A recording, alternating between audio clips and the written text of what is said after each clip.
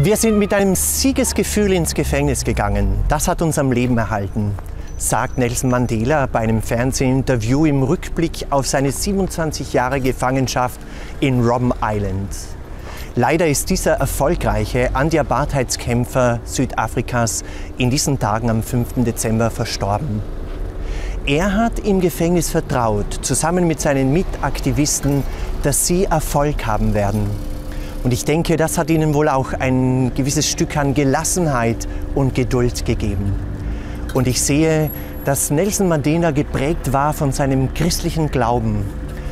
Und ich bin überzeugt, dass er wohl auch von daher besondere Motivation bekommen hat, sich für die Rechte der Schwarzen einzusetzen und für eine Versöhnung in der Gesellschaft. Wie Nelson Mandela möchte auch ich dazu beitragen, dass diese Welt ein Stück friedlicher wird. Und wie er möchte ich das geduldig und siegesgewiss tun, auch im Vertrauen darauf, dass Jesus auf uns zukommt, um uns dabei zu helfen. Und ich möchte jetzt ganz besonders in diesen Tagen des Advents mich neu auf dieses Vertrauen einüben.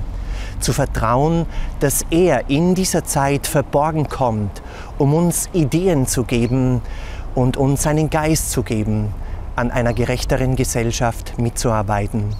Dabei denke ich auch an das Wort des Apostels Jakobus, der damals an die Christen geschrieben hat, Brüder und Schwestern, haltet geduldig aus bis zur Ankunft des Herrn.